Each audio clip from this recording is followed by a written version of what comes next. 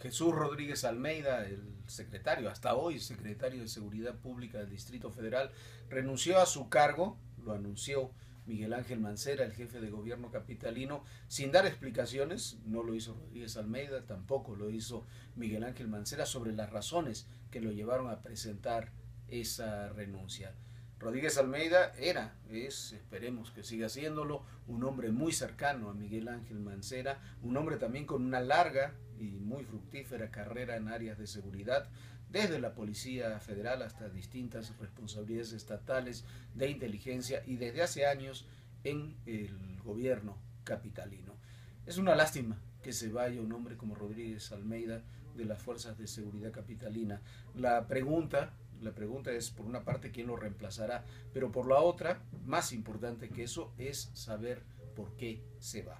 Aparentemente es por diferencia sobre el tratamiento que se le debe dar a los hechos violentos que se han generado en la capital del país. Habrá que ver si es así.